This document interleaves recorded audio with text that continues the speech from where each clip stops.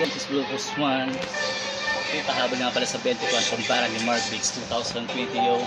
Pinauna ka na Biggs ni Mark. Teko lang, baka din na mapuyat mag-spark ng lighter para sindihan ng mga rapper. Parang fiber, gumadami sa downer, lower, bawal na matrigger. Ang rapper forever na hyper sa pizza kaya nag-repeater na lulog sa river. Ang dealer, akala ko sa'yo may sakita, disorder. Tama rin na galawan ni para mga sino kumasta na matubig kami kalmahan samantalang kumikilos sa bato na mabuhangin para makagawa ng hago sa tuwid. Kailangan naman king mapag, masigwag, maging manhid, nakakasawa na ulitin pero tapat na rin magpaalala na palagi na lang bukang bibig sa mga tao na tinuring ko na parang kapatid.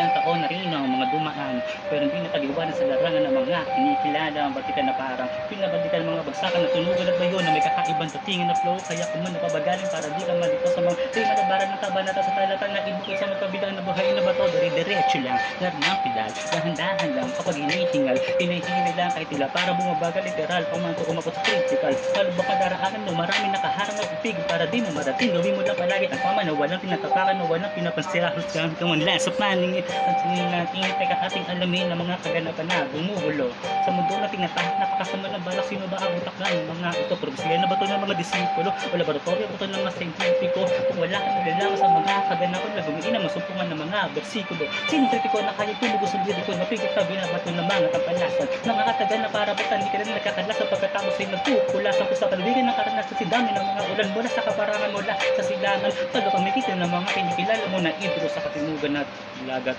kapanluran. Lucas 1 oh.